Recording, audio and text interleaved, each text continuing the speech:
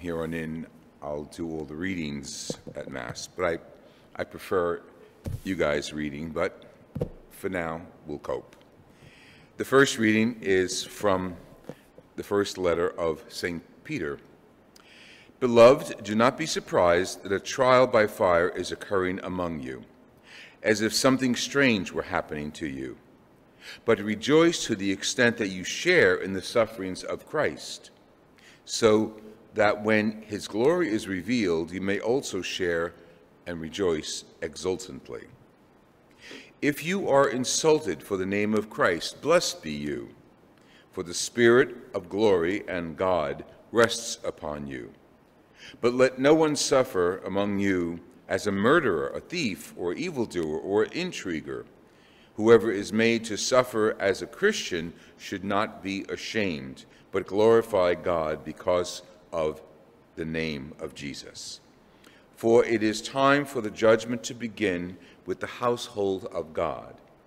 If it begins with us, how will it end for those who fail to obey the gospel of God? And if the righteous one is barely saved, where will the godless and the sinner appear? As a result, those who suffer in accord with God's will hand their souls over to a faithful Creator as they do good. The word of the Lord. Our soul has been rescued like a bird from the fowler's snare. Our soul has been rescued like a bird from the fowler's snare. Had not the Lord been with us when men arose against us, then would they have swallowed us up alive when their fury was inflamed against us. Our soul has been rescued like a bird from the fowler's snare. Then would the waters have overwhelmed us, the torrents would have swept over us, over us would have swept the raging waters. Our soul has been rescued like a bird from the fowler's snare. Broken was the snare, and we were freed. Our help is in the name of the Lord who made heaven and earth. Our soul has been rescued like a bird from the fowler's snare. Alleluia, Alleluia, Alleluia, Alleluia, Alleluia, Alleluia. We praise you, Lord. We acclaim you as Lord. The white-robed army of martyrs praise you.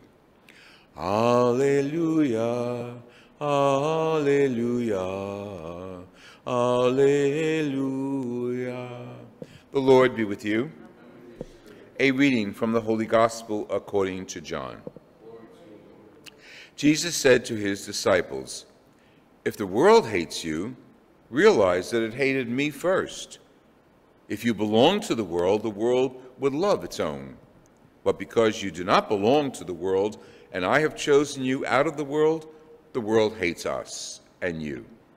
Remember the word that I spoke to you no slave is greater than his master. If they persecuted me, they will persecute you. If they keep my word, they will keep yours. And they will do all these things to you on account of my name, because they do not know the one who sent me the gospel of the Lord Jesus Christ. I'll just stand here today at the lectern to preach, and get a good view of both sides of the chapel. Recently, I heard that maybe some of my homilies are too political. And I realized that um, politics is out there in the world, and politics represents the people. Okay? So the Gospels and the liturgy and the homily, of course, I believe, is meant to go to us as the people of God. From the church, from the word, from the reading, out into the world. So the application of the ideas that come to us in the scriptures are very important. The application, the bringing of the word out into the public is very important. Now, I know our homily is here in this church, And I also know that because of Friends of the Word, it's broadcast throughout the world on our site and through the media, the, the, the, the, social media, the, the Facebook and Twitter and all those good sites that, that promote the word. Small word and big word. In our case, it's the big W, the Word of God. So when we, when we look at the martyrs, and that's why I'm wearing red today, we focus on two early Christian martyrs, very early Christian, uh, and Hippolytus, uh, Eastern Rite saints, more popular in the Eastern Rite than in the West, but still early martyrs who were involved in controversies, especially Hippolytus. He was involved in the controversy between himself and the Pope. He thought that the Pope forgave people too easily who had been converted of their past sins. That, that, that's okay, that was all right, that was settled. You know, we don't have to go into the details of that. But as a, as a Christian leader, he was also persecuted for believing in Christ, for bringing Christ into the world through his preaching and through his example. Now, that should be our goal. The whole reading, the, the readings today from, from St. Peter as well as the gospel, put out the plan, put out the, the, the, the format, uh, the, the outline of what our lives as Christians I don't want to say should be, but is. And Jesus says very clearly, they persecuted me, they're going to persecute you. So don't, don't be so upset that you're uniquely persecuted. And, and I want to apply that to current events. How many churches have we seen that, that have been desecrated? Internationally desecrated. From bombings to graffiti to the destruction of statues that represent figures of our faith. That's persecution. And so far, not in our world, our immediate world, no one has been killed because they're Christian. But that's not unusual today in our society. There are many Christians throughout the world that are persecuted and killed and martyred. Don't forget, if you die for your faith, you're a martyr for their faith, their faith in Christ. He's such a contradiction to the world. He makes it very clear. The world doesn't know who sent me. I know who sent me, speaking of himself, God the Father. But the world doesn't know who sent me. You do. Us here and those who observe the Word of God, Christians throughout the world, believe that Jesus Christ was sent into the world by the Father to bring God's Word and God's life into the world. And the world persecutes us for that. Now, there were times in our society in which the church was flying high, doing very well, politically, socially, uh, reputation wise. In the last few decades, not so much. Maybe a lot of it is because of our own mistakes and failings. Fine. But you have to realize we are the church, we're made up of people but the Holy Spirit is with us at all times. So we always come back to the church. We always come back to the Word to, to reinvigorate ourselves and to focus on what we are all about, why we are here. We are here to change the face of the world through our love, through our forgiveness, through our acceptance of all people. Doesn't matter what religion, what, what ethnic background acceptance of all people. We don't have to agree with all people, and indeed we can't in certain cases, but we can accept them, respect them. Now, that's where Christianity has that fine line, because we have to stand with Christ and realize we're going to be adversaries to the world when that happens very often. I like this little story. I I've told it many times. When I was first assigned as a campus minister at William Paterson, it was then college, um, some days I would go on campus with my collar, and some days not. I mean, you know, depending on what the occasion was. But on the days I wore my collar, I would get two main reactions from not only students, but staff as well.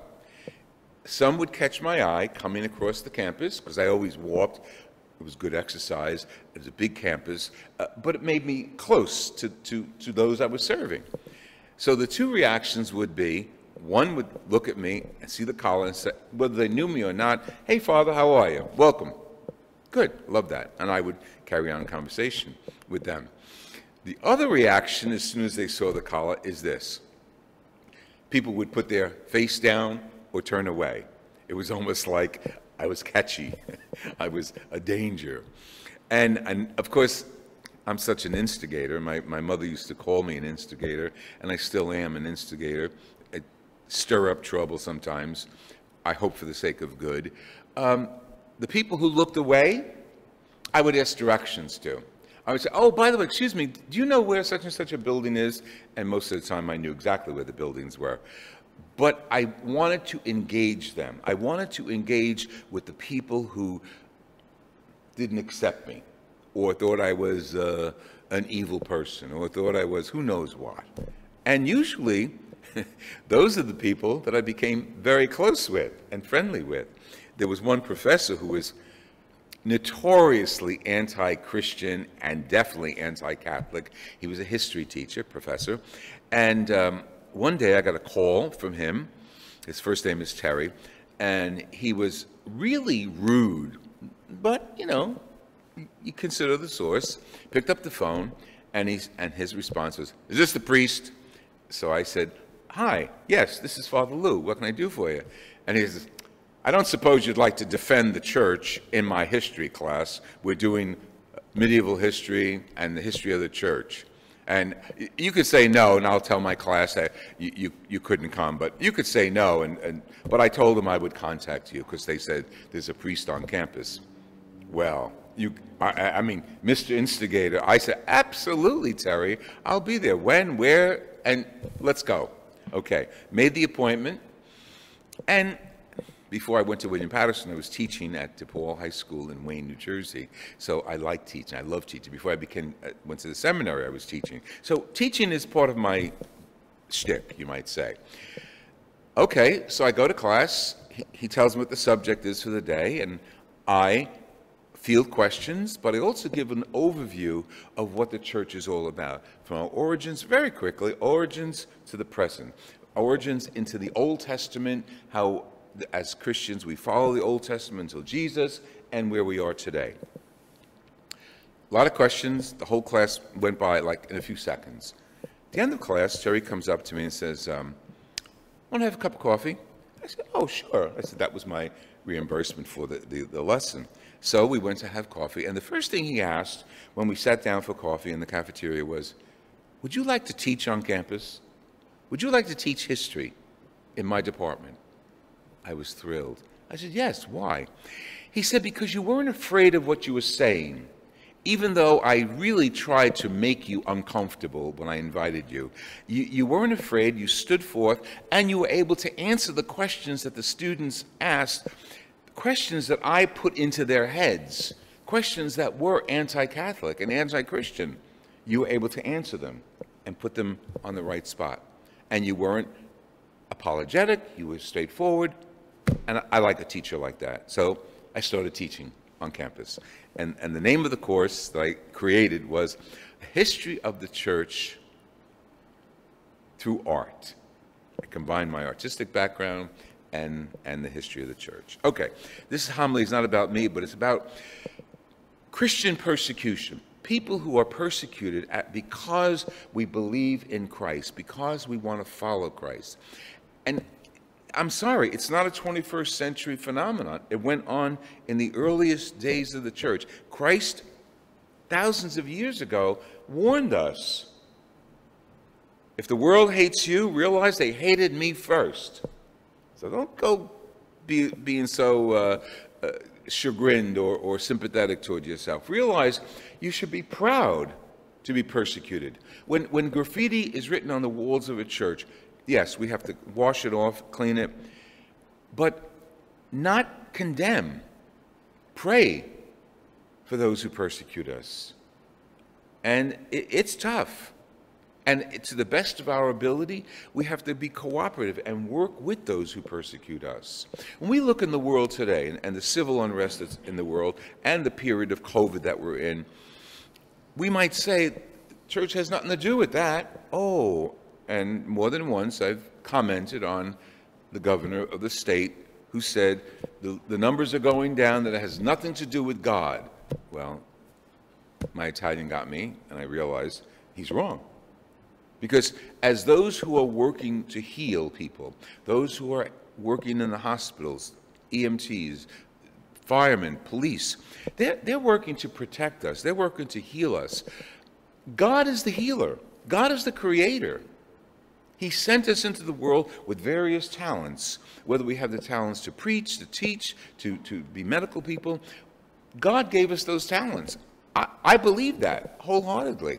Even the scientists, God gave them the talent. Even the atheists who are scientists, God gave them that talent. What they do with it is up to them. And what we do with our talents is up to us.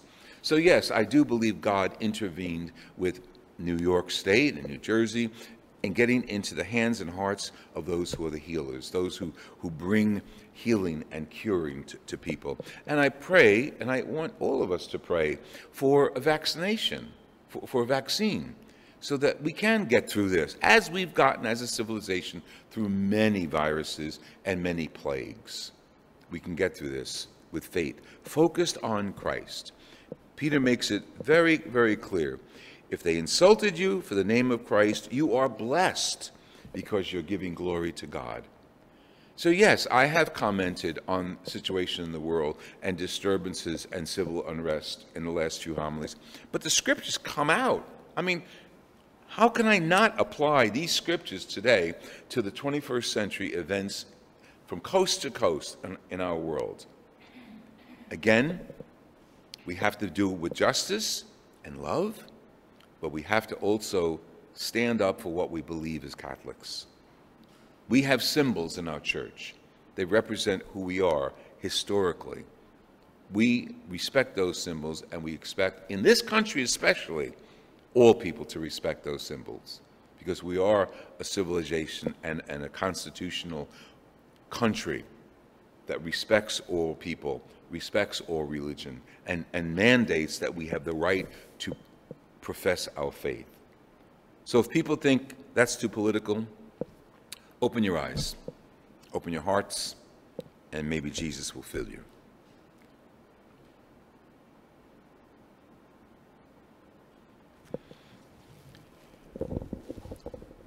We now ask the Lord to be with us as we come to the table.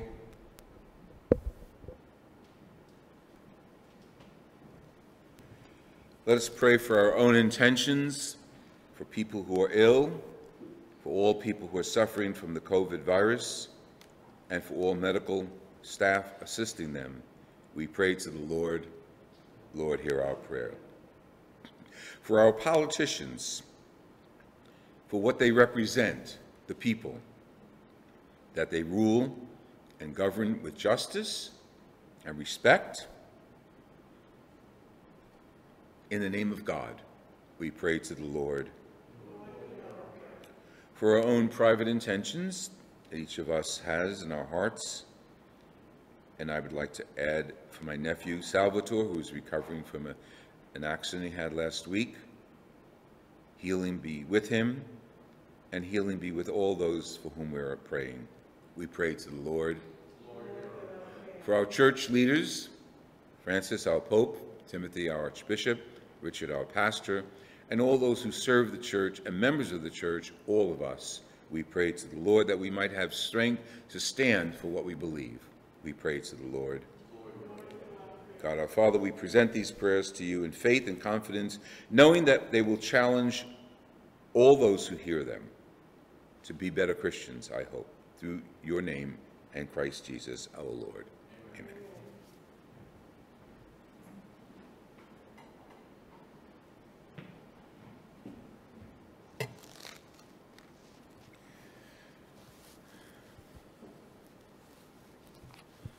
Having shared the Word of God, we now share his holy bread and body in Eucharist. Blessed are you, Lord God of all of creation. Through your goodness we have this bread at work of human hands. Let it become for us the bread of life. Through the mingling of this water and this wine, may we come to share in the divinity of Jesus, who became a human being to share in our humanity.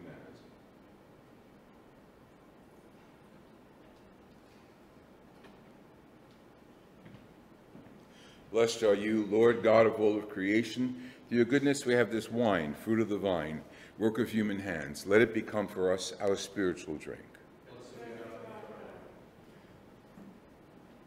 Lord, wash away my sins and free me from all my iniquity. Pray, my friends, that our prayers and sacrifices will be acceptable to God, our Almighty Father.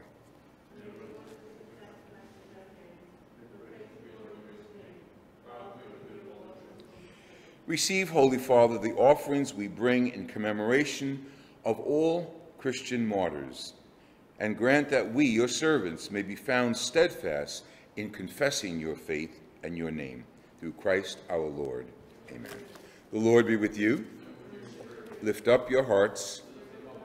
Let us give thanks to the Lord our God. It is truly right and just, our duty and salvation, always and everywhere to give you thanks, Lord, Holy Father, Almighty and eternal God, through Jesus Christ. For just as through your beloved Son you created the human race, so also through him, with great goodness, you formed it anew. And so it is your right that you receive from all your creatures the redemption and praise that is deserving to you. And so with all your saints in one heart, we praise you and we add our voices to the angels as we celebrate our faith and acclaiming your glory. Holy, holy, holy Lord, God of hosts, heaven and earth are full of your glory. Hosanna in the highest. Blessed is he who comes in the name of the Lord. Hosanna in the highest. You are holy indeed, Lord, the font of holiness. Make holy, therefore, these gifts of bread and wine that we bring to you, so they will become our nourishment through the body and blood of our Lord Jesus Christ. At the time he was betrayed and entered willingly into his passion, Jesus took the bread of the meal of Passover. He blessed it, he broke it, and he gave it to his, disciples, saying, Take this, all of you, and eat of it, for this is my body, which will be given up for you.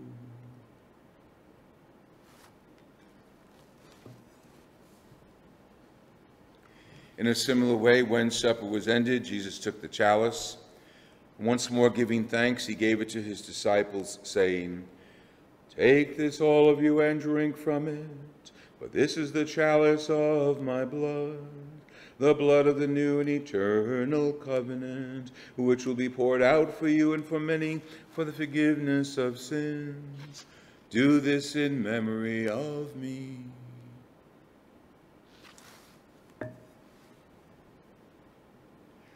The mystery of faith. We proclaim your death, O Lord, and profess your resurrection until you come again. Therefore, as we celebrate the memorial of his death and resurrection, we offer you, Father, the bread of life and chalice of salvation, giving thanks that you have held us worthy to be in your presence and minister to you. Humbly we pray that partaking in the body and blood of Christ, we are gathered into the one by the Holy Spirit. Remember your church spread throughout the world. Bring us to the fullness of charity, together with Francis, our Pope, our Archbishop Timothy, my Bishop Kevin, and all the clergy, including our Pastor Richard, and those for whom we pray. Father, remember those who have died, especially recently through the COVID virus, and those who suffered in any way during the civil unrest present in our country. Grant that they who are united with your Son in a death like his also be one in his resurrection. And we ask you to watch over all of our sisters and brothers who have fallen asleep in the hope of resurrection, and all who have died in your mercy. Welcome them into the light of your face. Have mercy on all of us.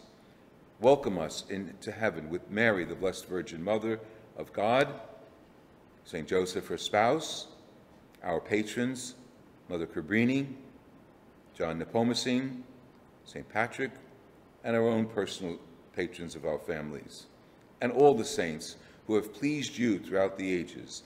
May we merit to be co-heirs to eternal life and praise and glorify you through your Son, Jesus Christ our Lord.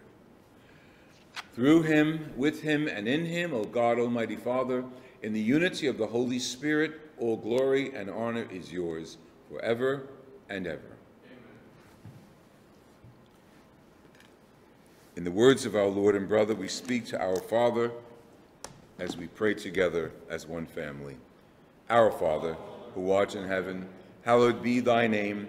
Thy kingdom come, thy will be done, on earth as it is in heaven. Give us this day our daily bread, and forgive us our trespasses, as we forgive those who trespass against us. And lead us not into temptation, but deliver us from evil. Deliver us, Lord, from everything that is evil and selfish and naive. Help us to be open to the presence of the challenge of our faith in this world and to stand firm as Catholics and Christians, proclaiming your faith and glorifying you through our own persecution. We ask this as we prepare the world for the return of Jesus in glory. For the kingdom, the power, and the glory are yours, now and forever. May the Lord's peace be with all of you. And let's share that peace in our hearts and pray for those around us and in our world.